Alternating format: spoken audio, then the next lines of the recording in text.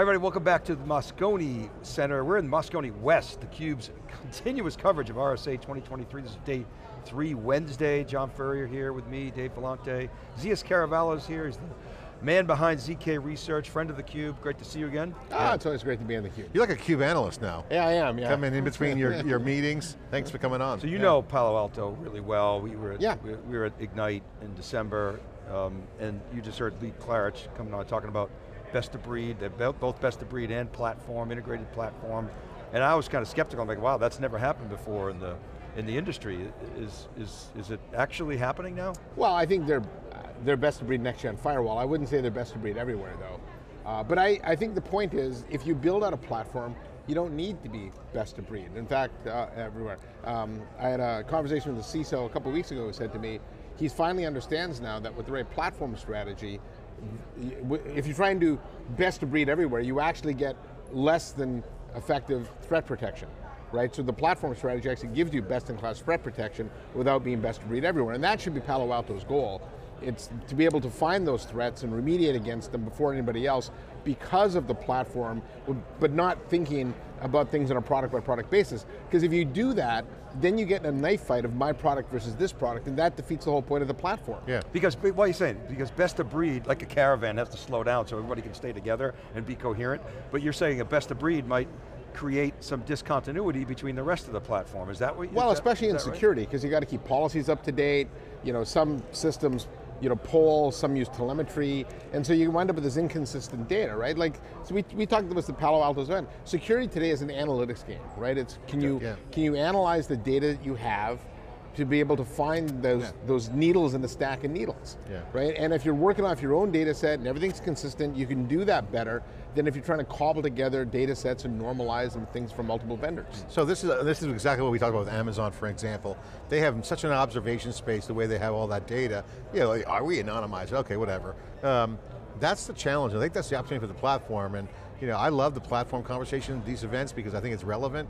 But to your point, platform for platform's sake, is not the answer. Yeah. Platform for objective sake is why yeah, you have a platform. Outcomes. Why do you have a platform? So if they can create more observational space, like for example, I asked them about cloud native networking, I didn't really get an answer. Maybe they don't have anything on that, or maybe they do. They said, no, we're building network security in AWS, so we'll check on that. So there's a lot going on in this cloud native networking, because network security is an old school, here's my MPLS, here's my routes on Amazon. Well, and so let's let's uh, call it what that. it is. So so cloud native security can be everything from providing firewalls in AWS, Azure, GCP, right? And, and Palo can do that better than everybody. But you can also you then have to think of container security, which they're new to. Also API level security, which is something like you know Volterra, which F5 bought, right? There's yeah. Akamai just bought Neosec. Yeah, and so yeah, cloud native security is unpacking that itself is, is, a, is a pretty big category. I think within the confines of network security, Palo Alto does a great job of cloud native security, but there's a whole other... about cloud native networking. Cloud, yes. That, yeah. but that should be the same policies as network security, right. but it just doesn't seem in most companies that we talk to on theCUBE, they're like, well we have a completely different network security team than the ones on Amazon. Yeah, that's so that's an interesting trend, right? I was at Fortinet's event, they talked about the convergence of network and security. Uh, Scott Harrell, you know, came from Cisco, went to Infoblox, he was talking about that as well.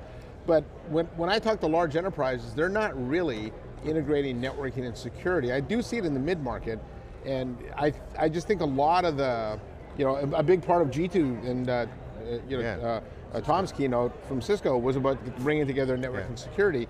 And when you get into those large enterprises that have all these processes built around these SIEMs and you know, these security tools, they haven't integrated the two together. Yeah. And I, I think they're, they're susceptible to breaches. I do think it's something they need to do, well, but I, I just think we're a Well, I want to get your thoughts on, on Dave, yeah. always, uh, Dave always says this on every show we go in security, because it's a great observation. Not any one company has the large market yeah. share. Chambers even said, commented here earlier, like, yeah, that someone's got to go up above 20%, and you know, he had 60%, but who's going to break out in your mind? Who are the dark horses? Who's the, the favorite horses that's going to emerge to be more the dominant platform, company? Is it CrowdStrike, is it Zscaler, is it PAN, Palo Alto Networks? Uh, who merges in your mind? Microsoft's the biggest, right? I mean, yes. just because they're Microsoft. Microsoft is the biggest, but they're a but, bit of a, uh, a walled garden. Right. Right, so, and so, so of the independents, so let's park yeah. Microsoft for a second, because yeah. they maybe do have double digit market. It's hard to tell, but at any rate, Yeah. of the independents, who do you? Yeah, so I like Palo a lot. I, I think their platform strategy is outstanding. I think the way they can build products, you buy products, integrate them in quickly, uh, I think makes a lot of sense. I think um, the stuff Cisco's been talking about, I when I talk to Cisco, so Cisco's an interesting security company because it's a, that expression of fool me once, shame on you, fool me twice, shame on me. I'm at like fool me seven times now, right? Like because I've been expecting to do something, but if if network telemetry is a big part of security threat identification, who has more network telemetry than them? Yeah. And I think the new leadership at Cisco, with Tom and G2, Uh, AWS is getting it. actually understand that, right? Yeah. And so they're not trying to, you know, they and they understand that they've their their their portfolio, which is Kenna and Talos and Duo and Umbrella, they need to bring those things together. But I but I think they. I, from my conversation with the leadership, I think they finally Yeah. they finally have it right. Well, Gillis is, was a great pickup Yes. for Cisco. I thought Yeah. he, That was- and, and, you know, yeah. and, and I think actually, I think VMware has an okay story in security. They just they didn't they didn't tell it at the last Well, VMware. well, they but I get- think G2 probably said, "Hey, G2's Tom, got a yeah. why don't Yeah. you come on over to Cisco because we're really serious about security." Well, G2 Yeah. wants And to talk, so we'll follow up with them. I got to ask them about the private companies though. Who, what non-public companies do you see out there rising up in uh, security and or network security? Oh, look, look, just say cloud security, on-prem, edge. Yeah. Who's, who's rising? I, I think Netskope actually. Uh, yeah, has a- Netskope's got some momentum. Yeah, they've, they've got a lot of momentum. I think they, you know, most people thought of them as a, as a CASB vendor and thought of Zscaler as a SWIG, and both those companies are leaders in the Gartner MQ.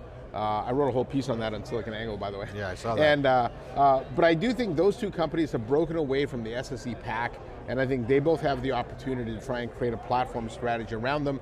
You know, they're a proxy, they do a lot of, they, there's a lot of stuff they don't do, but for what they do, if you believe more and more workloads are moving to the cloud, more workers are moving to home, those two companies actually have a, have a lot of a lot of upside. Well, it's interesting. We, we had Jay Chaudhry on, and he, you know, he didn't mention Palo Alto, but he was just throwing firewalls under the bus any chance that he got. Yeah. Right, so, but it's you it's still need firewalls though. Let's, let's, that? let's be real. You still You need need firewalls. firewalls, yeah. Well, no, you've, yeah, you've yeah. made this point a number of times, but you know that they don't sell firewalls. Yeah. So okay, this is the game they play. But so it's, it's been interesting to watch the security market because I think there was a lot of investors said, "Hey, this market's insulated," and then last summer we saw you know security sort of reverted to the mean, and then you've seen Palo Alto and Fortinet in particular, Yes. and more, more recently CrowdStrike, you know, sort of do really well. You see Zscaler sort of not doing as good as say even the NASDAQ or even the Mm-hmm. bug ETF, they're not really doing as well. So it's really mixed right now. Why do you think that is? And do you think that, that, that these companies are going to come roaring back? I mean, what's your outlook? Well, a lot of Fortinet's growth has been based on their SD-WAN, so this, co- this convergence of network and security has actually benefited them more than anybody, right? Because with them, you just flick on the networking and they're FortiGate. Yeah. Uh, but I, but I think you know security is always. Uh, I, I do think a lot of what drove Zscaler and Netskope that type of growth was people working from home, right? And now that we're companies are starting to bring people back to the office, they need to rethink what what exactly are we doing? We brought in a lot of technology. How do we integrate it together? And uh, I, I think that's causing a bit of a pause in buying, which is uh, why you saw some of the security vendors take up a little bit. You mean the transition back to hybrid work? Yeah, because People it is trying to figure that out. Yeah, That's yeah. Like who am I going to have in the office? But you, I can't really figure out what to secure or even how to enable them to work if I don't know what that work style is. And um, one of the predictions I made at the beginning of the year, from a UC perspective, and it holds true with security, is that hybrid work this year Yeah. will be a disaster because companies don't know how to implement it. I think you're right. You're right. I think you're right on that it's, one. It's sort of landing on, okay, Monday, Friday, you work from home, Tuesday, Wednesday, Thursday, you come in. It's very easy, it's- exceptions but it's so easy to solve. It's do you mean? end-to-end Uh, security. yeah, I, It's I end-to-end security. So it, the policies are got to move from the network to the to the edge, to the handheld, to the virtual desktop. So I'm a user. You got to know when I'm in the office. But- but- it should have independent of, of the infrastructure. But a lot of office the infrastructure should be smart enough to know that hey, Yeah, John's in the not, office. Right? Well, So that's my point. that's the a problem. lot of my office point. The- the- infrastructure was, was. Well, no, I'm just saying. know, I just say it's a simple problem to solve. Yeah, yeah, but a lot of office infrastructure wasn't invested in for two years, Yeah. right during the Yeah. pandemic, and now they had to catch up. Well, that's why I was asking they probably change- thought about security. Well, no, I mean, I mean, no, there's, there's some like they always structural changes, but the, the answer is simple. The getting there is hard. Chambers, I asked Chambers the same question. What's that startup that's going to come out of the woodwork and like slay this domain legacy dogma of this is the way it was. Well, what do you? And- I don't see. I don't think. I don't see that uh, some startup all of a sudden sudden coming in and taking a big share. Well, I mean, if, Palo you're, Alto's if you run, if you run cloud native buy them, and- networking and on-premise networking with tied to the cloud, you can tie your app directly into the cloud native network.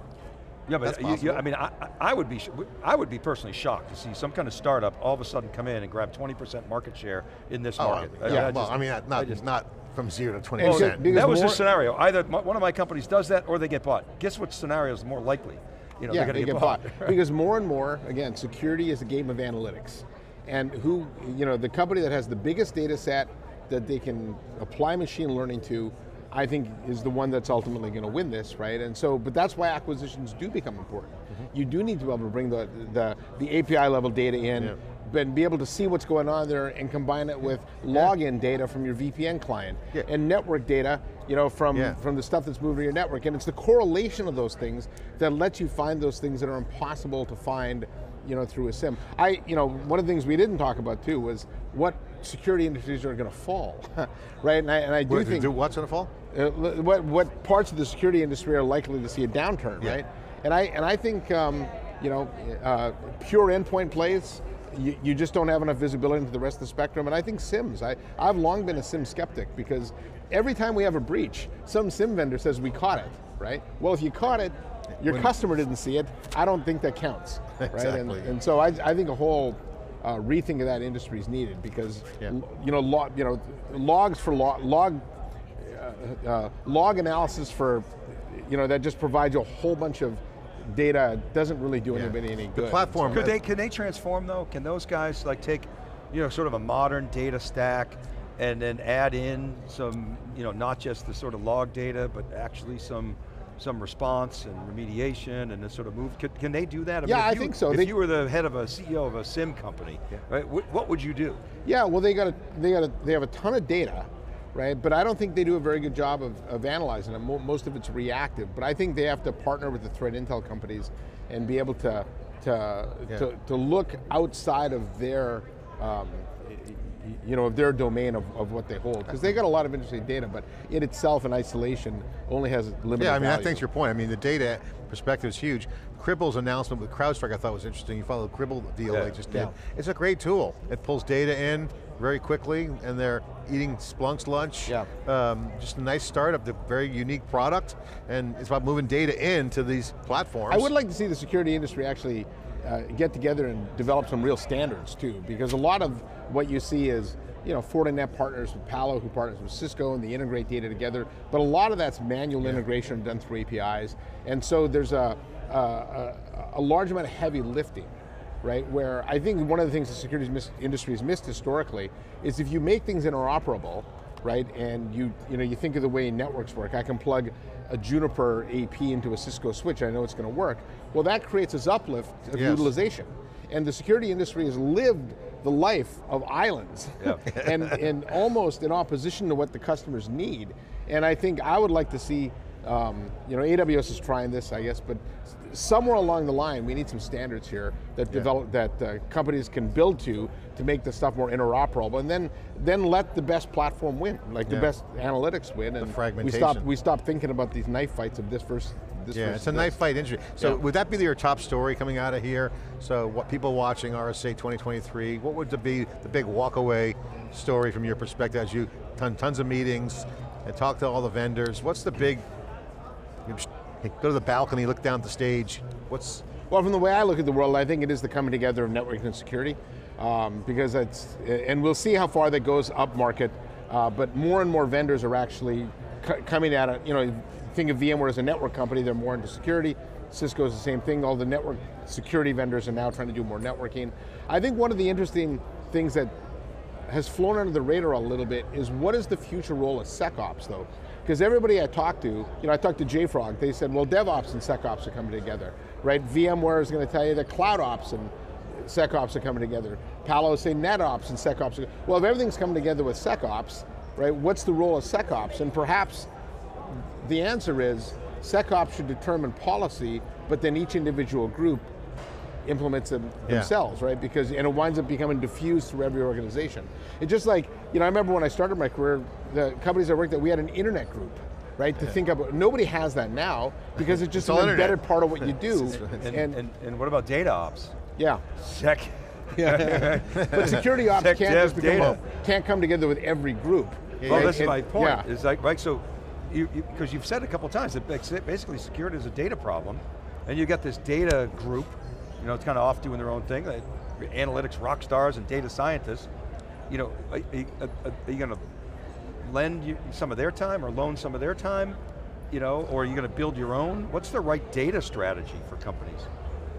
Yeah, well, I think it's a combination of your own data plus the vendor, the vendor supply data. Because the vendors, the, the thing is, the threat intel groups of um, of these vendors have just a ton of data they're Maybe like a. Unit 42 yeah, or Unit- Mandiant. yeah, or Talos, or you know groups yeah. like that, right? There's um, uh, because they're aggregating data across their customer base, but then the data that the co- company has is unique to them, right? People work in certain ways or whatever, and if you just you know think of your own company, if you know you start logging in all of a sudden at different times, that's a pretty good indicator that you know maybe there's something where somebody hacked your account or something, right? Right, so, right. but I think it's a combination of the company's data applied to the aggregate uh, threat hunting data that's out there. So. Awesome. Cool. What about, I mean, a lot of talk about generative AI, you know, generative models and large That's language back to models. SecOps, I do mean- do, you- do you, are you, what do you think about that? You think it's mostly hype? Do you think is, are you, are you an optimist in terms of it being applied to the industry, or is it just a bunch of bullshit? Well, I, I think generative AI is being used to create better and better uh, phishing attacks, spear phishing campaigns and things like that. Because now, with, with generative AI, you should never have a phishing email that comes to you with a spelling error. You should, you should be able to write it in, you know, to one of your employees in your tone and the way you grammar, talk. right. Right, perfect. It should, you could be able to replicate people's voices, right, it, it perfectly. And I think we, we haven't really explored what the fraudster use of generative AI is. And I think that's that's still yet to be seen. I, and I think it's going to have a huge impact. And, and I think you need generative AI. This is a little bit of fight fire with fire. You, and this is where companies need to really rethink their security strategies. You cannot fight AI-based security with manual processes. You, it's too slow and it doesn't work. And the great thing about AI is you could have ChatGPT create me 10 variants of this malware and only one of them has to work. Yeah. Right? Yeah. It's, Yeah. it's, So it's you're basically developer saying- productivity meets Yeah. uh, You- back You're basically saying, which is no surprise, the adversaries are going to figure it out first. Yeah. And they're ahead. 'Cause of there's the more money in defenders. Yeah. Right. and it's No doubt. easier now.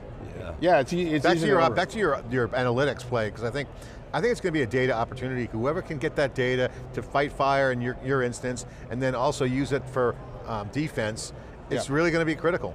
Well, that's why the platform strategy is important, and that's why, to your point, Dave, I don't know if a small startup can come out of nowhere now and and um, and do that. Maybe as an Unless it's company. completely game changing, it's Yeah. out of left field, no one sees it. But then somebody would buy them. yeah, well, Yeah, that's the, the, thing question. is, you they, know? they may I mean, come you out know? with a best of breed tool, you know, that, that has the potential to be a platform. And there's a number of companies out there that are trying to do that, but it's just, how long does it take to get a platform adopted in, in cyber? I mean, it's a, it's eight, Yeah. ten years. It's- Yes, it's- you need it's generational. and you need critical mass in a couple of areas in order to call yourself a And a lot of the really interesting innovations coming out of Israel. And those companies are, you know, they're going to get bought. Yeah. right? the M&A market's going to be hot. Yeah, All right, so it's awesome, as always, to see you. Thanks for making some time for us. always happy to be here. All right, uh, Dave Vellante for John Furrier. Great stuff. And our guest, we'll be back right after this short break, theCUBE live from RSA 2023.